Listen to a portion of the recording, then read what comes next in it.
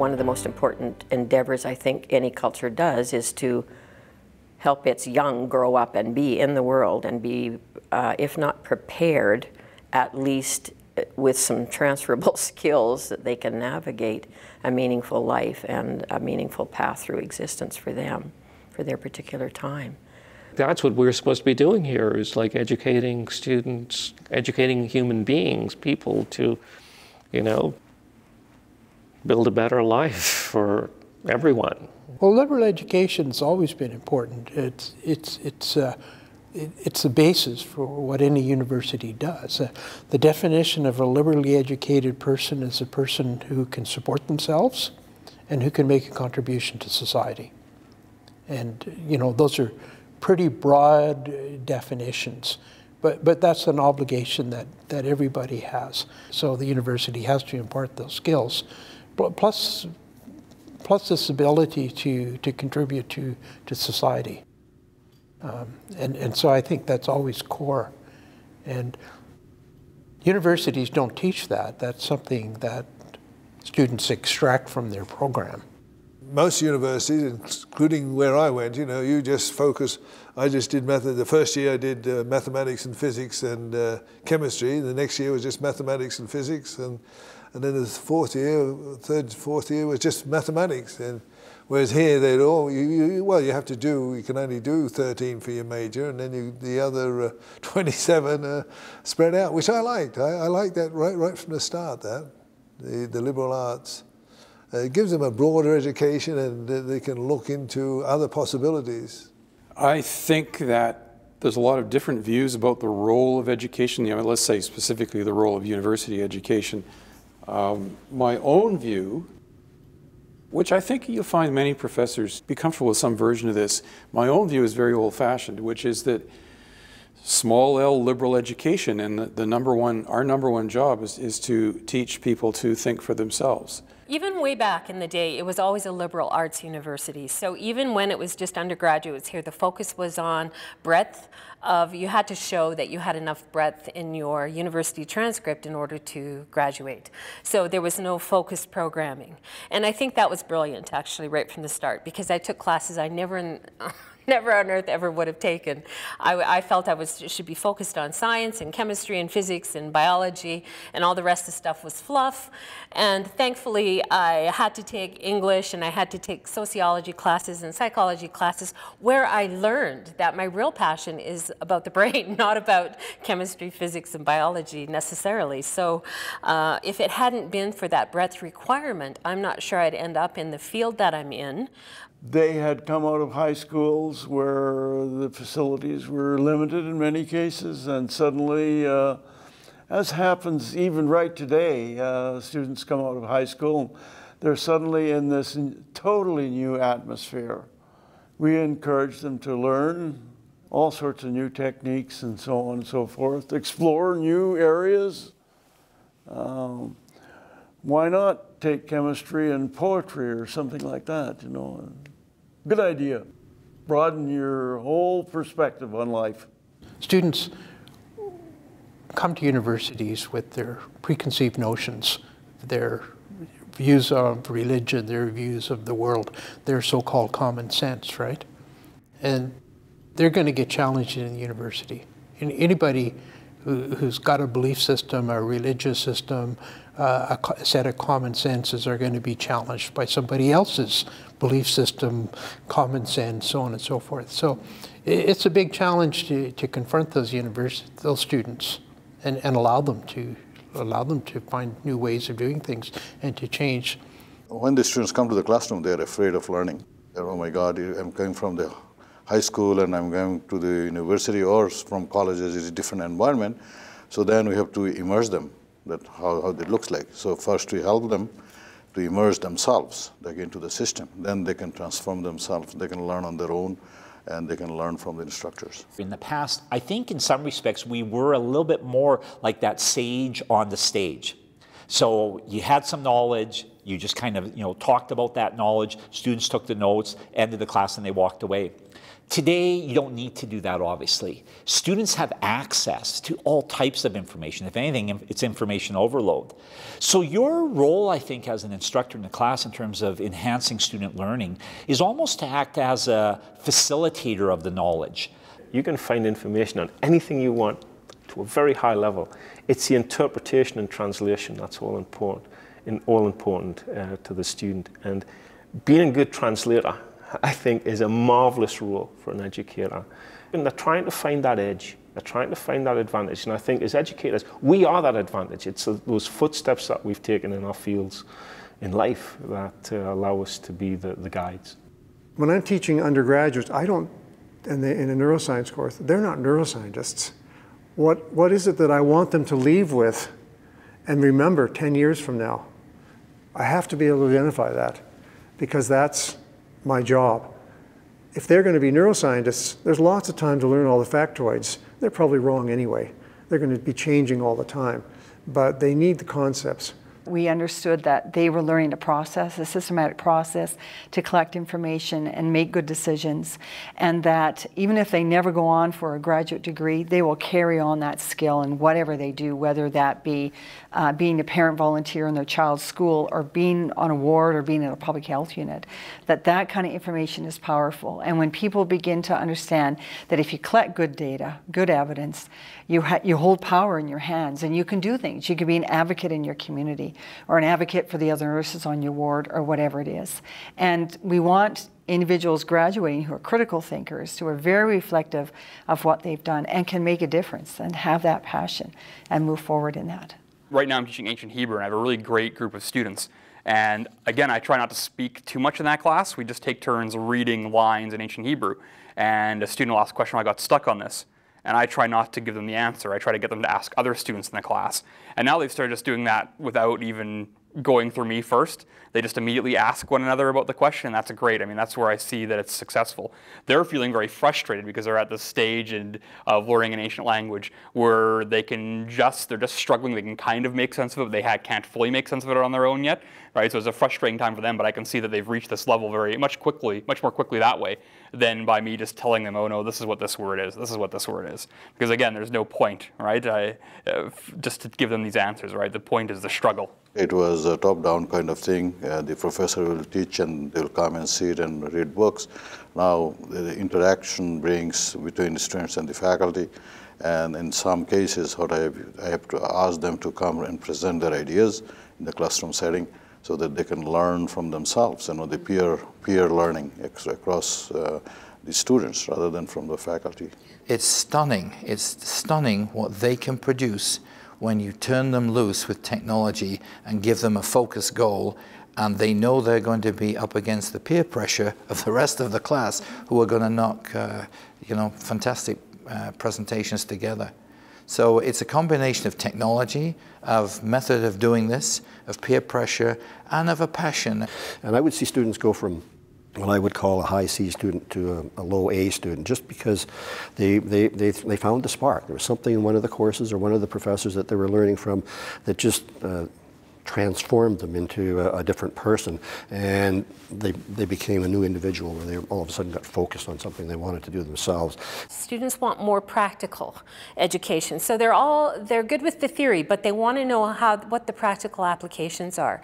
And it seems to me whenever I have an opportunity to do professional development for people, they also want to know what is the practical advice that they can get based on what the research is telling us. So they, they don't want to just know what the research is, they want to know that extra step. And so I find students are clamoring for more and more of the practicalities of um, a university education. What can they actually take from it that they can apply? Students get engaged when they see value. Um, students today, again, are inundated with time pressure. So as a young person, you say to yourself, okay, I could spend, you know, an hour here or an hour there, right? Why do I choose to spend an hour here rather than there? And it's uh, because I'm getting something from that hour, from that, right? So the idea is, again, the engagement comes in terms of, again, igniting that spark, showing why there's value in what we're talking about. I always say to students, look, in a lot of our classes, you could lock yourself in a corner, study, study, study, walk out of this class with an A. That A has no value at all to you in the long term if you actually forget about everything two hours after you write your final.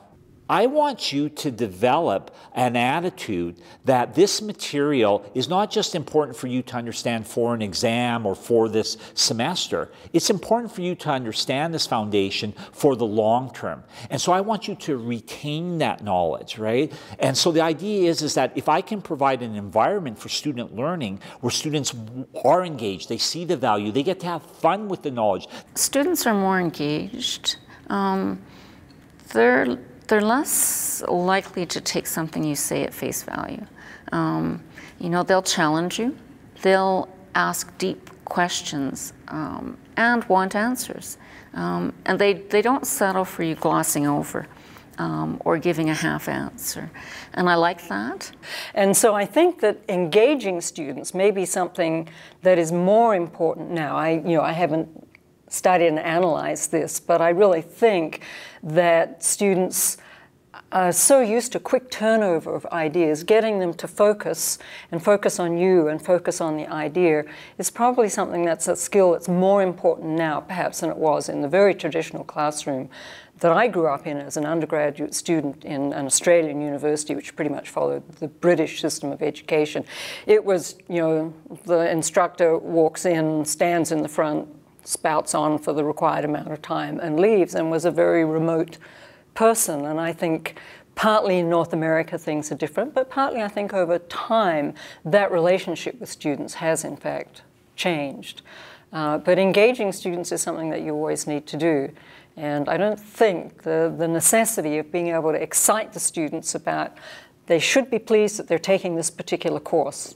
Sometimes they're only taking it because it fills a requirement. But still, you would hope that by the end of the course they say, well, I actually learnt something in that course and you know it was informative, educational. I can think about something from a different perspective now. They were really eager and the classes were small. That was really the nice thing about it. And so um, they, uh, they were really interested in learning. And that, at least that's my impression from the students I ran into. I think it was generally true. They were really interested in learning, and they were really interested that there was a university right here in Lethbridge that they could attend. With an intimate class, it's really hard to teach them bulk material.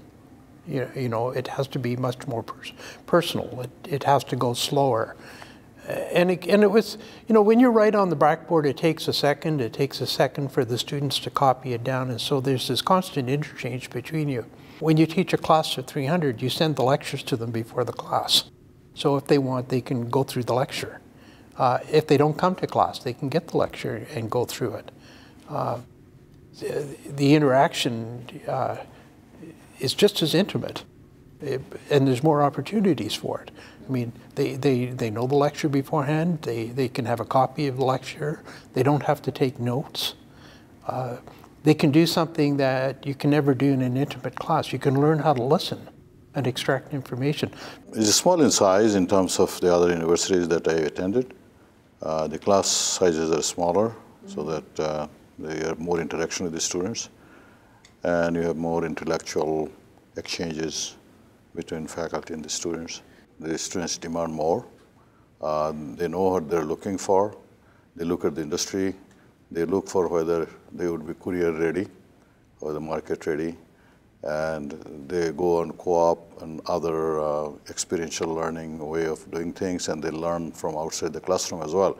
And they bring knowledge into the classroom, so that gives different perspective for the educators as well as the other students who did not go on there. So is a melting of what is happening in the society come into a classroom that we need to interact and, you know, and learn. One of the big changes for students is the co-op program, uh, and that is huge for us. Uh, about 20% of our students are in the co-op program, and we've had that now for, I think, close to 20 years. And so students go away and they work for a company for four months, eight months, maybe even a year, and they might have a couple of those terms. And I, I find that when they come back, they're more mature, of course. They, they're more focused. They know what they want what they want to do. Sometimes they know what they don't want to do. They come back and they know what they need to learn. So they have demands as to, you know, I need more networking. And, and sometimes they bring back skills that um, we don't know about or, or software that they've used and perhaps is proprietary and we can't uh, get at it, but at least we, it, it informs our teaching as well.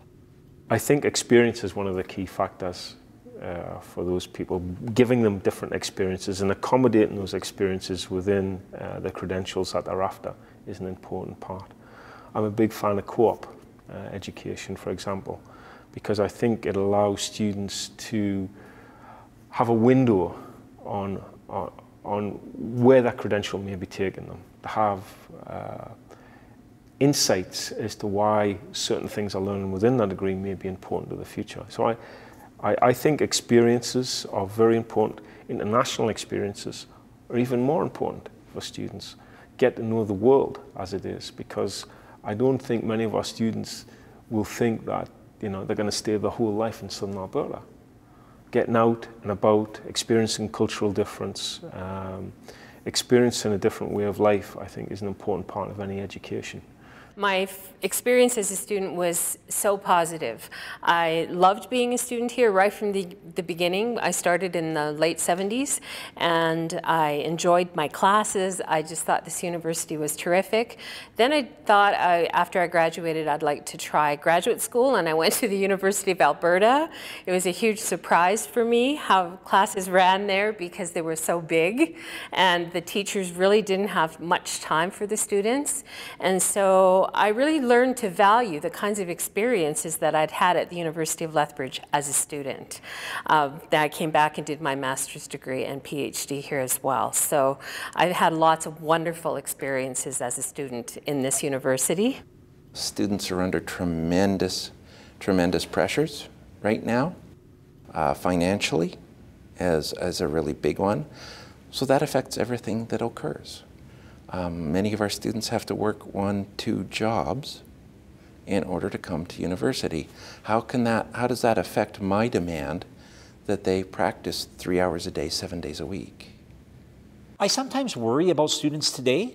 It seems like uh, they take a lot on um, that they have a lot of pressures that maybe they didn't have 10, 15 years ago, especially as it relates to kind of just economics. Uh, you know, how do they afford to pay for school? Uh, I see, you know, some of them worry about the burden of student debt, things like that. And yes, it is a long life, and you talk to them about in, investing and how this is a good investment, uh, both time and money for their future. But we're seeing people that have full-time jobs more, that have families, that are raising families. It was no one in my uh, first year class had children, for instance. So people are coming into it from a you know a different socioeconomic background, and it used to be that you know. I don't want to say upper class, but you'd have to hope your parents paid for your education. And now people are really working for uh, their education in more ways than one. And they have greater, I think, time commitments outside of this learning place. Because they, they are now not typically just straight out of high school. We, we certainly do have some students that are straight out of high school, but many of them are uh, more mature students, and so many of them work uh, uh, many, many hours uh, during the week as well as being a student. Many of them have families and all kinds of obligations, and um, I have to admire many of these students how they can do it all. And I don't know how they do it all. But even since I started teaching in 2004 to where we're now at uh, 2016, things have changed quite a bit. So uh, I see that students are they, they seem to be more driven to find a job as soon as they're finished university. They seem to have different set of expectations. When I came to university here, I knew that my training wasn't going to really lead me to a job directly, and that's why I decided I wanted to go to graduate school. But most students now are, are really looking for some, getting something that they can take from here and get right to work with. So uh, I think that's changed quite a bit, the student expectations. The U of L I think it's done really well because we had really good foundation at the start. We started with some really good people who set a standard for everybody else, and there was that because we were an undergraduate institution for a long time. Uh, we we treated uh, fourth year graduate undergraduate students as graduate students. And so they got tremendous benefit from that. And I used to interact quite a bit through research with the University of Calgary. And they would always tell me, we really like to have students, send your students up here because they do better than our students do. And the reason was is that they, they got a lot of personal hands-on uh, training um, before they even finish their graduation because you know we, without graduate students and if you're running a research program you need help in your lab. So you would get independent study students, uh, then they became applied study students in some cases, but you would have the students get involved in projects because you, you wanted them to get involved, and secondarily, you needed them to get involved to progress your own kind of research. And so uh, the students that would graduate from here, we had no graduate school, so they couldn't continue on at the U of L, they had to go somewhere else. And they, the reputation of the U of L students was very, very good from the feedback I had, and it was because of that close interaction.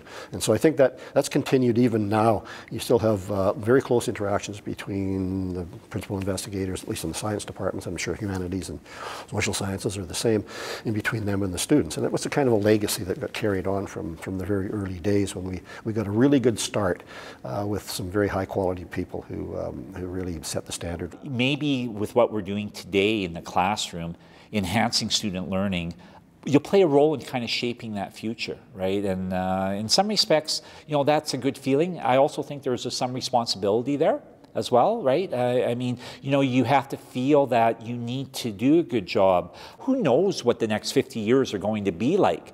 The idea, though, is that if we don't know what the next 50 years are going to be like, let's prepare ourselves with a toolkit so that whatever happens in the next 50 years, uh, our students are prepared to adjust and adapt and take advantage and have a fulfilling life no matter what occurs in, in the future. Because we should be preparing students for careers that aren't even uh, you know developed yet um, oftentimes, when you look at how new jobs come about, new industries come about, they weren't there when the students were actually in university. They came about after the fact, right? And so, if you prepare people for things that are happening today, you're doing them a disservice. And again, that Liberal Education Foundation really provides a long term perspective and provides them with that toolkit that I think will really help them in the long term.